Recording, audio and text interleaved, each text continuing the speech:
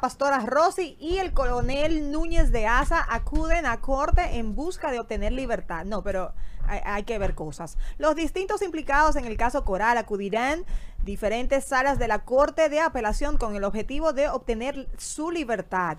Tanner Guzmán, como ya todos saben, es el hijo de la pastora Rosy Guzmán, buscará obtener su libertad mediante el conocimiento de un recurso de apelación ante la segunda sala penal de la Corte de Apelación del Distrito Nacional. El Tribunal de Alzada conocerá a las 10 de la mañana el recurso que interpuso el imputado a través de sus abogados, con lo cual buscará que se le eh, varíe pues la prisión preventiva dictada en su contra, como ya todos sabemos, eh, a todos sus implicados, eh, excepto a Girón, pues se, le, se les impuso prisión preventiva. Entonces, señores, este caso va a seguir dando mucho de qué hablar.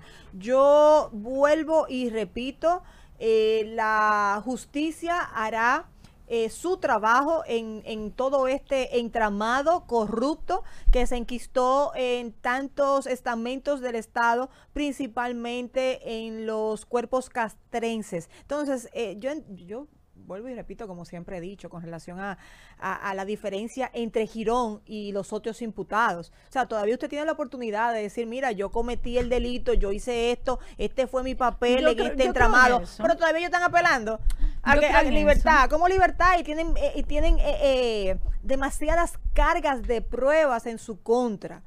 Eh, para estar apelando a, libertad.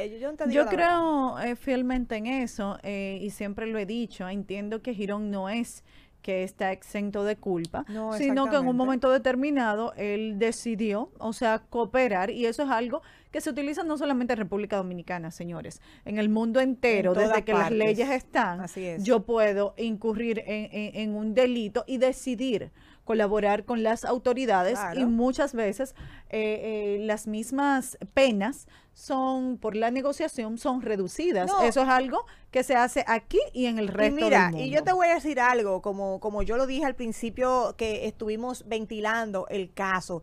Al principio, al principio, yo les decía a ustedes, señores, que muchas veces en este, en estos cuerpos castrenses, esos eh, militares de, de, de, rangos menores, eh, se le da una orden y tienen que acatarla. Y si estos, y si esta orden no se acata hasta en el debido tiempo, señores, estas personas eh, enfrentan que lo mandan, qué sé yo, cuántos días de cárcel, eh, que inclusive le, hacen persecución. Entonces, eh, hay que ver y hay que ponerse en los zapatos de todos estos pequeños militares de, de, de no tan alto rango que están también metidos en este caso ver cuál fue, porque es muy fácil tú decir, no, ahí todos son todos corruptos, ahí son todos culpables, pero cuando te dan una orden y más de dónde venía la orden, ok, más de dónde venía la orden, muchas veces tenía que ser una persona, mira, bueno, con yo muchos entiendo, pantalones yo para no, que, yo entiendo hacerlo. Yo entiendo que esto eh, llama reflexión, lógicamente, y que nos ayuda de una manera u otra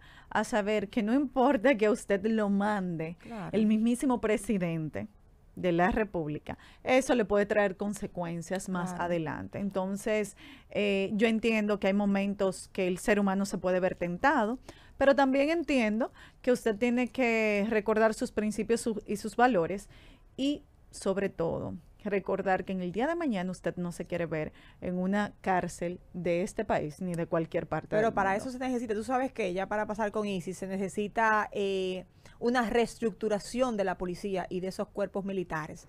Porque aquí las órdenes, como lo decía Girón en una, no, si me mandaban a brincar, yo tenía que brincar. Uno lo ve, uno se ríe, uno puede decir, no, eso no puede ser así. Pero aquí es así. es así. Porque aquí hasta por tú no ponerte el gorrito como se debe o como se llama el asunto es el kepi, fácilmente te mandan 10 días. Yo decía Entonces, así, yo le ganamos a Cuba. Yo le decía, yo decía el otro día que los militares, por ejemplo, se ve mucho, que tienen más rango cuando llega uno y eso se ve en todo lo que tienen que ver con los eh, estamentos de aeronáutica y todo eso, cuando llega uno de más rango, eh, te ponen delante de la gente por el simple hecho de, hacerte eh, sentir eh, inferior o que tú tienes que respetar los rangos, te ponen a hacer 10 pechadas, te ponen a correr y tú tienes que hacerlo. Dime tú, entonces y eso es algo entonces, que, te manden que maneja todo el mundo. Que te manden a hacer un depósito. Vea, deposítame en tal cuenta. Dime, tú te vas a poner y que, déjame ver, ¿cuánto fue que deposité? ¿Cuánto tengo que depositar? Hay muchas cosas que te involucran, lamentablemente. Es muchas cosas. Lo que pasa es que en este caso no fue simplemente ve, deposítame o ve. No, o yo ve de, de los de menor rango. Porque ah, ya, ya el, hijo de la pastora y toda esa gente, no, eso estaban en su entramado. exactamente. Eh, eso eran unos corruptos de marca mayor, pero nada. Hola, Isis.